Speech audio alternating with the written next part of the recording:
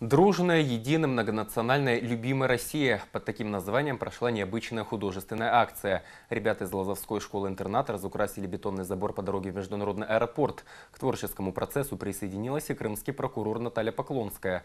Наша съемочная группа наблюдала за тем, как благодаря совместному творчеству «Серая стена» превращается в настоящее произведение искусства.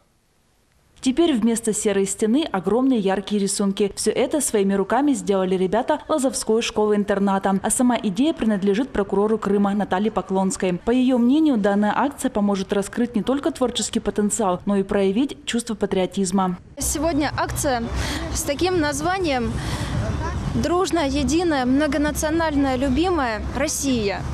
Поэтому вот на эту тематику дети воображают, э, выражают все, что находится у них внутри, в сердцах, как они это все воспринимают. Необходимо, чтобы дети еще с самого маленького возраста уже воспринимали э, и хранили те традиции народностей, которые существуют в Крыму, а у нас многонациональный Крым.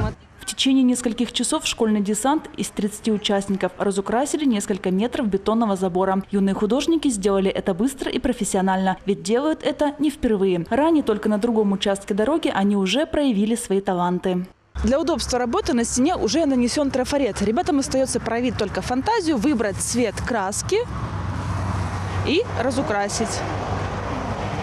Немного работы и произведение готово. История Крыма глазами детей. Здесь изображены народы, знаменитые места республики. Например, Ласточкино гнездо и, конечно, любимая школа. Мы рисуем нашу школу. Школа хорошая, и мне нравится в ней.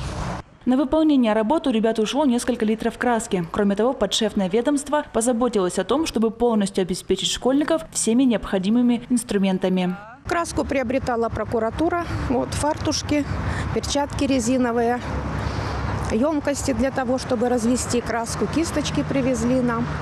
Краски очень много. Три ведра привезли, я так думаю, где-то килограммов по 10, и плюс еще баллончики разноцветные. Видя результат ребят, Наталья Поклонская решила не оставаться в стороне и сама взялась за краски. Вместе с юными художниками она необычно разукрасила часть стены. В качестве кисти выбрали собственные ладони. Да, давай начнем вот отсюда, да? Давай. Ольга Савенко, Андрей Трещук. Время новостей.